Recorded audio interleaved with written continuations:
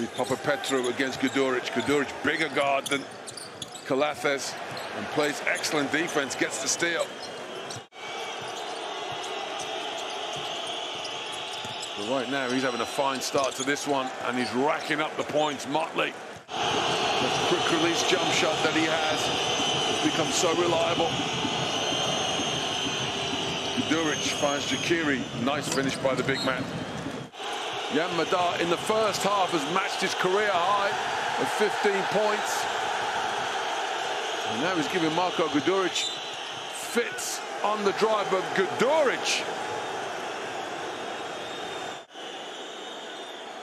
The foul from Madar, no question, and somehow, and Mathias Lessort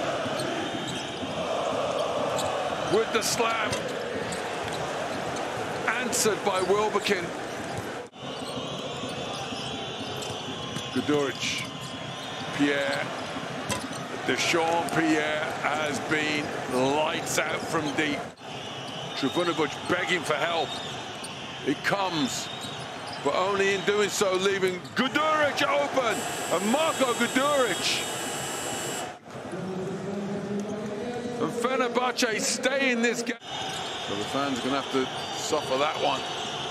Guduric down the lane one, and Kevin Punter has just picked up his fourth foul.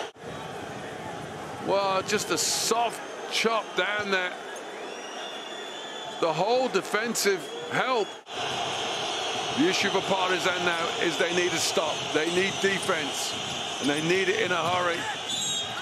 And you're not going to get it trying to stop Guduric that way. I'll make that four on him.